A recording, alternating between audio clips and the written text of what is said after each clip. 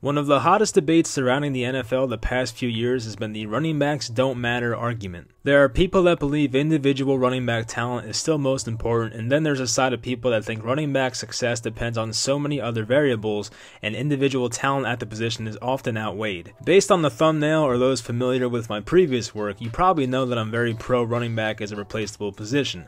Many people still don't believe the theory, but this video might change your mind or offer a different perspective, so let's get into it. Example number one is Todd Gurley's whole career. So Todd Gurley was the 10th overall pick in the 2015 draft after a great career at Georgia. Gurley's career has been off to a roller coaster so far, but if you look at it closely, here's what sticks out to me. In 2016, Gurley was given 278 carries, only resulting in 885 rushing yards. He was on the same team with terrible coaching, rotating quarterbacks, and an offensive line that was very inconsistent and ranked 29th in adjusted line yards. For those unfamiliar with adjusted line yards, it's a statistic to attempt to even to a small extent separate the ability of a running back from the ability of the offensive line. One season later in 2017, Gurley was given just one more carry than in 2016 but ran for 400 120 more yards. Now, how did this happen? It's the same player, the same team. Did he just have a lucky year? Well, no. It's just the Rams improved everything around Gurley that would help a running back succeed. Sean McVay took over play calling, Jared Goff started playing like a Pro Bowler, and most importantly, the offensive line was revamped and playing at a much higher level. Remember how the Rams' offensive line was ranked 29th in the NFL in adjusted line yards in 2016? Well, that jumped all the way up to number 3 in the NFL in 2017. Gurley also saw less stacked boxes with his offense around him getting even better. So Gurley would go on the average 4.7 yards per carry in 2017 and follow that up with 4.9 yards per carry in 2018. In 2019, the Rams lost some offensive linemen, including their great guard Roger Saffold, and Gurley once again struggled rushing for 3.8 yards per carry. The funny thing about Gurley's 2018 season is that when he started going down with injuries late in the year, he was replaced by a clearly overweight CJ Anderson, and guess what? That offense did not miss a beat. So here's what CJ Anderson did once he was the starting running back for the Rams in 2018. His first start was 20 carries for 167 yards and a touchdown against Arizona. Then in the final week of the season against San Francisco had 23 carries, 132 yards, and another touchdown. In the playoffs against Dallas in the divisional round, he had 23 carries, 123 yards, and two touchdowns. Now, his final two games were not as good, but honestly, no one on the Rams played that well in the Super Bowl anyway. If you take away the Super Bowl matchup, the Rams offense averaged 33 points per game, while CJ Anderson was the starting running back. And sure, it's a four game sample size, but that's still a quarter of an NFL season. And if an overweight CJ Anderson can do that for the this Rams offense, then shouldn't that tell you something? And speaking of Anderson, he went on to play for the Lions in 2019 and averaged 2.7 yards per carry on 16 carries. Probably not a coincidence. Example number two is Le'Veon Bell's career. You know Le'Veon Bell, the guy with two first team All Pros, three Pro Bowls, four appearances on the NFL Top 100 in basically four seasons.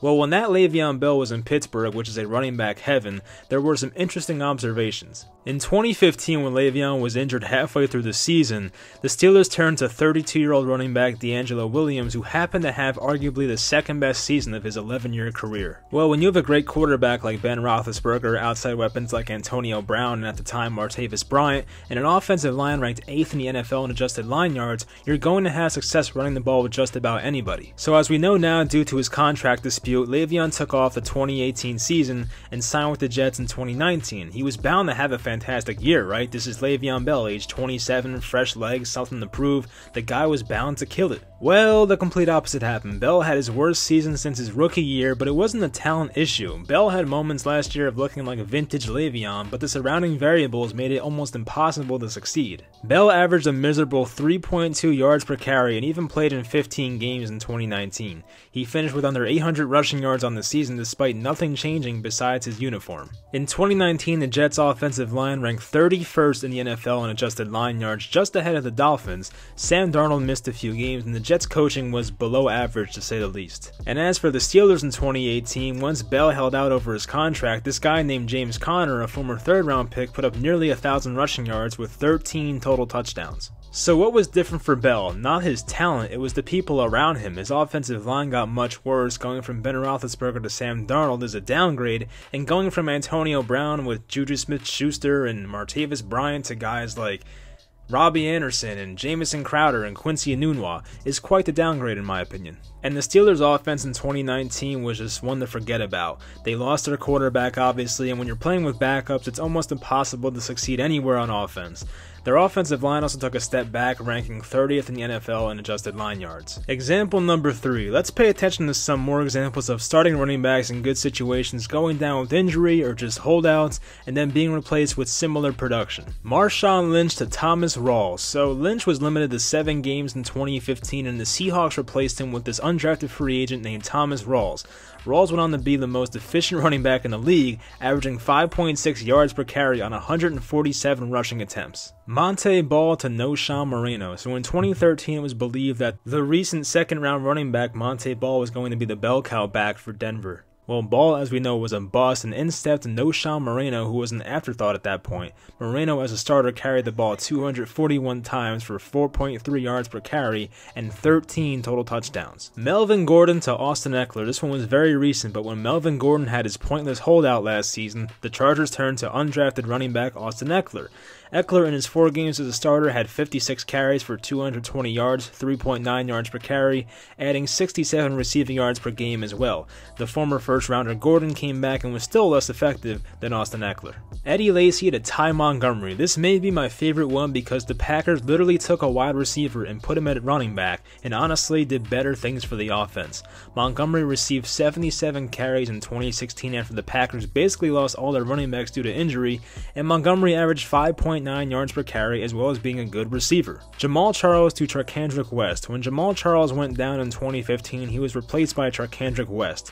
West was an undrafted free agent and ran for 4 yards per carry, and the Chiefs still went 11 and 5 that season. Adrian Peterson to Jerick McKinnon. So remember when Adrian Peterson was suspended 15 games in 2014? Well, the man that replaced him, Jerick McKinnon, a third round rookie, averaged 4.8 yards per carry on 113 attempts. For some reason, he split carries with the ineffective Matt Asiata, but even he had 3.5 yards per carry. Ray Rice to Justin Forsett. When Ray Rice was suspended in 2015, the Ravens turned to a lifelong backup in Justin Forsett.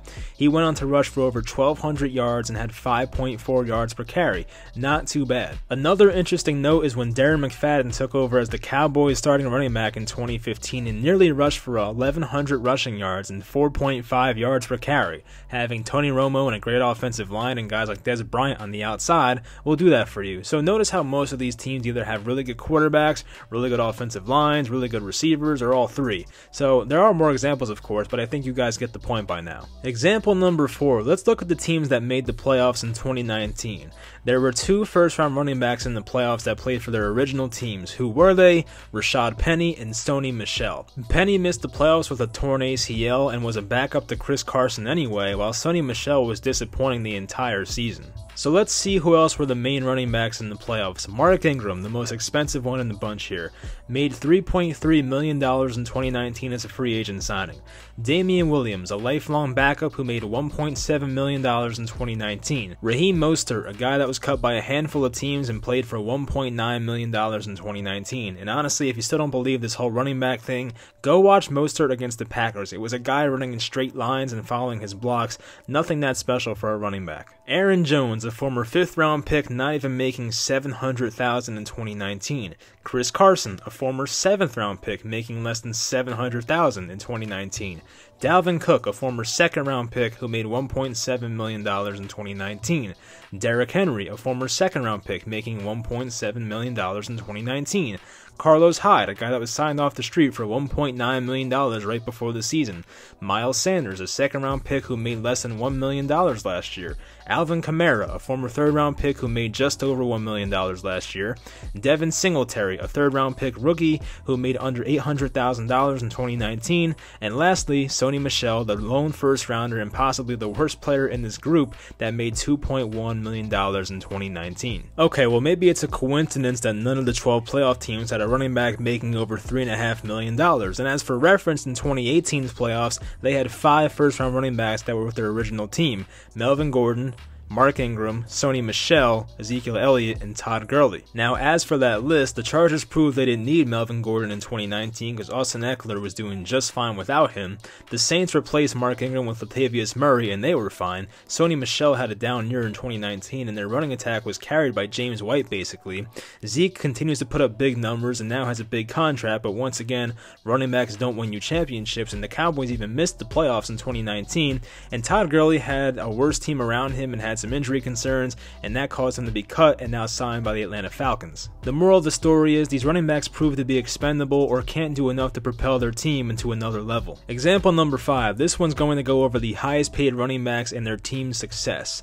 So number 1 is Christian McCaffrey who just signed that big contract. He's probably one of the two running backs in the NFL that I think is worth paying. But then again, you look at the team he's on, the guy was the third player in NFL history to have a 1,000 rushing yard season and 1,000 receiving yard season and his team still finished 5 and 11. Once again, Zeke continues to put up great numbers, but they had to let a guy like Byron Jones go because they're paying him so much money. Le'Veon Bell, we went over him before, and right now this Le'Veon Bell contract is not looking good at the moment. David Johnson. Now, props to the Cardinals for getting anything for a running back with major injury issues on a terrible contract, especially a player like DeAndre Hopkins. Derrick Henry. This is the first year of getting big money, and it will cost them to lose their right tackle, Jack Conklin. We'll see how that one plays out. Kenyan Drake was franchise tagged. He will not be making a ton of money in the future, I would guess. Melvin Gordon. The Broncos had such a good offseason until this move. Not sure why they signed a running back with a career 4.0 yards per carry and an injury history, but we'll see. Saquon Barkley. I'm one of the 5% of Giants fans that disliked the pick when it happened. Not his fault, but the Giants could have traded back from 2 to fill other needs and now have a record of 9 and 23 since Barkley was drafted. Leonard Fournette, a very high draft pick that looked like it was going to work out back in 2017, but hasn't been proven right since. With his injury history and team not competing, he's definitely a trade candidate this season. And lastly, Lamar Miller, a guy who missed 2019 with an ACL tear. Bill O'Brien is now rostering two of the highest 10 paid running backs in the NFL, and they also have Duke Johnson, so not sure what he's doing there. Here's the final example, number 6. So the argument to the anti-running back group is that people say you can find any position late in the draft. While that is somewhat true, it's not going over how prevalent it is actually to find star players at important positions late in the draft. Out of the 32 starting running backs in 2019, there were 8 that were first round picks that were picked by their original team. That includes Melvin Gordon and guys like Todd Gurley as well. So out of the 32 starting quarterbacks in 2019, there were 19 that were selected by their original team. So right there, quarterback outweighs the running back 19 to 8 in terms of first round picks. Out of the 32 starting left tackles in football in 2019, there were 12 first round picks who were with their original team. That does not include Laremy Tunsil, Jason Peters, Trent Williams, guys like that. Out of the 32 sack leaders in 2019, there were 11 players that were drafted by their original team, not including the Dante Fowler, Khalil Mack, Jason Pierre-Paul type guys as well. So yes, you can find other positions later in the draft, but it's not as common as finding a late round running back.